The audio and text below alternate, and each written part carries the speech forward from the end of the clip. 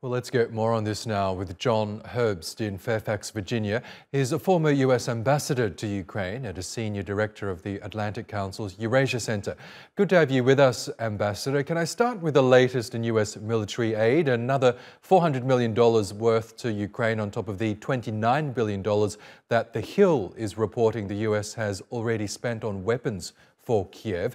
Is it fair to say that Ukraine really couldn't be making the progress that it's made so far without the ongoing support from Washington? Without a doubt, American and European assistance to Ukraine, military and economic, is essential to help Ukraine defeat Putin in Ukraine.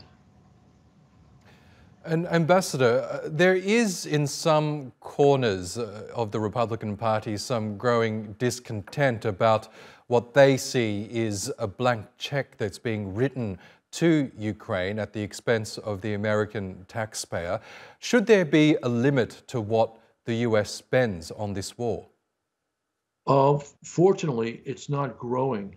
It may be a bit louder, but in fact, the populist wing of the Republican Party, which has an isolationist streak, did very badly in the last elections in November. So they're smaller as a group than they were six months ago. But point of fact, the United States is not doing a favor for Ukraine. The United States is doing smart, uh, a smart policy to defeat Moscow's threat to the United States and vital interests by helping Ukraine defeat Russia in Ukraine. We're giving substantial aid.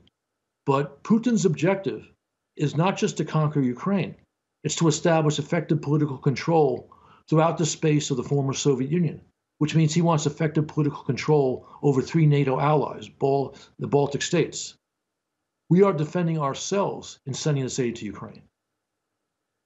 We heard there Ambassador, a correspondent talk about what's happening in the eastern city of Bakhmut. This is the city in, in the east of Ukraine that's seen some of the worst fighting in the conflict so far. The Wagner Group, uh, the mercenaries, say it's surrounded uh, Bakhmut. If they do manage to take it, it would be a rare victory for Russia. But overall, how would you assess Moscow's progress at this point of the war?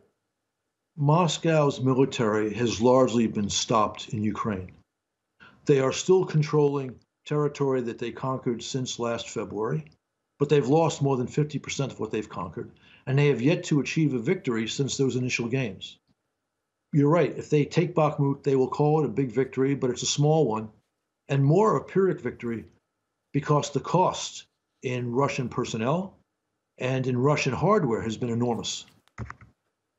And given uh, the costs uh, that Russia has suffered so far, both in terms of uh, soldiers and, and the military aid that it's used in the conflict so far, do you believe the threat of a Russian spring offensive is a real one? And is Ukraine prepared for that?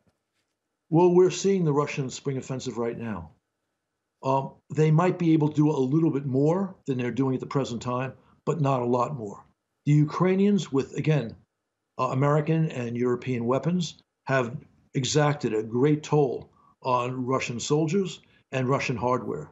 Estimates are that they have destroyed up to 50% of Moscow's conventional military capability. Okay, Ambassador John Herbst, we will have to leave it there, but really good to get your analysis. Thank you again for joining My us. My pleasure. Thank you.